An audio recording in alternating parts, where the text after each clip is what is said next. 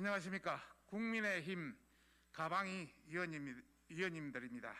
저는 박성중 간사입니다. 네, 우리-. 네, 의원입니다. 오늘 저희들은 더불어민주당이 월성 원전 수사 물타기를 위해서 조직적 가짜 뉴스를 퍼뜨리기 떼고 있기 때문에 이것을 중단하라는 취지로 기자회견을 하게 되었습니다. 더불어민주당은 월성 원전 수사 물타기와 조직적 가짜 뉴스 퍼뜨리기를 중단하라. 존경하는 국민 여러분, 국회 과학기술정보 방송통신위원회 국민의힘 국회의원 일동입니다.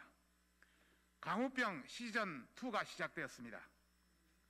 최근 월성 원전에서 법적 기준의 18배에 이르는 삼중수소가 검출되었다는 보도가 이어지고 있고 이낙연 대표를 비롯한 여러 여당 정치인들이 가짜 뉴스를 퍼뜨리고 있습니다. 심각한 우려를 표합니다. 과학적 사실이 아닌 일부 주장을 침소봉대하여 국민을 호도하고 있습니다. 더불어민주당과 환경단체는 월성원전 부지에서 법적 기준의 18배가 넘는 삼중수소가 검출되었다고 주장하지만 이는 사실이 아닙니다. 오히려 이런 가짜 뉴스를 계기로 삼중수소는 안전하게 관리되고 있다는 것을 원자력 안전위원회와 한국 원자력 수리권 한수원을 통해 재확인하였습니다. 해당 보도가 처음 나온 것은 작년 12월 24일입니다.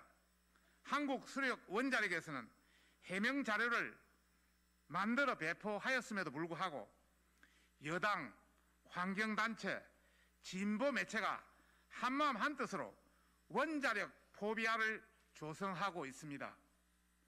원자력 포비아를 조성하고 있습니다. 이에 가방이 소속 국민의힘 의원 일동은 민주당이 퍼뜨린 가짜 뉴스에 대해서 진실을 국민에게 알리고자 합니다. 첫째, 삼중 수소는 월성원전 내부에서 안전하게 관리 중입니다. 월성 1호기 사용 후 핵연료 저장소, 저장조 차수막 손상은 한수원이 2019년 5월 발견 당시 원안위에 보고하여 조사가 이루어졌고 보수 작업이 진행 중입니다. 더불어민주당에서 주장하는 내부 에폭시 손상으로 사용 후 핵연료 저장조 누설이 있었다면 삼중 수소뿐 아니라 코발트 등의 감마 핵종도 함께 검출되어야 하는데 지금까지 1호기 부지에서 감마 핵종이 검출된 적이 없어 누설이 있다고 볼 수 없습니다. 그런데도 더불어민주당은 거짓 선동을 하고 있습니다. 오히려 이는 한국 원전의 우수한 다중 방지 시스템을 검증해 준 사례입니다. 또한 삼중 수소는 화학적으로 물로서 존재하기에 누설이 없어도 원전 부지에 미량 존재할 수는 있습니다. 월성 부지에서 검출된 농도는 아무런 처리 없이 배출해도 법적인 배출 허용 농도 이내일 정도로 낮은 수준입니다. 둘째, 기준치 18배 초과라는 것도 가짜 뉴스입니다. 시설 내부의 고인물과 정제된 배출수는 애당초 비교 대상이 아닙니다. 검출된 삼중 수소는 원전 내 특정 지점에서 일시적으로 검출된 것으로 외부로 유출되지 않았고 회수되어 액체 폐기물 처리 기준에 따라 처리되었습니다. 이는 원안위조차도 규정상 외부 환경으로의 방출로 보지 않아 보고 대상으로 별도 조치하지 않았던 사안입니다. 셋째, 국민의 힘이 국민들의 안전을 무시하고 노후 원전에 대한 가동을 재개하라고 우겼다는 것은 사실이 아니며 우리 당에 대한 모욕입니다. 월성 1호기는 7천억 원을 들여 유지 보수를 마쳤기 때문에 충분히 더 가동될 수 있었습니다. 안전성 문제가 없었기에 경제성을 조작하여 강제적으로 조기 폐쇄되었기 때문에 감사원 감사에서도 발각된 것입니다.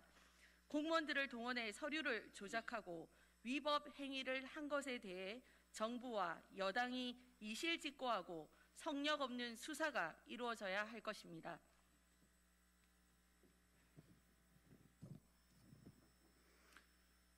이 와중에 이제 이낙연 대표는 삼중수소 검출을 충격적 원전 마피아라는 표현을 해가면서 감사원을 강력하게 비판하였습니다. 사실을 호도하여 원전 수사를 해방하려는 의도가 아닌지 의심스럽습니다. 공당의 대표가 사실관계를 확인하지 않고 감사원까지 흔들리는 이 태도가 정녕 책임 있는 모습인지 되묻고 싶습니다. 더불어민주당에 강력히 촉구합니다.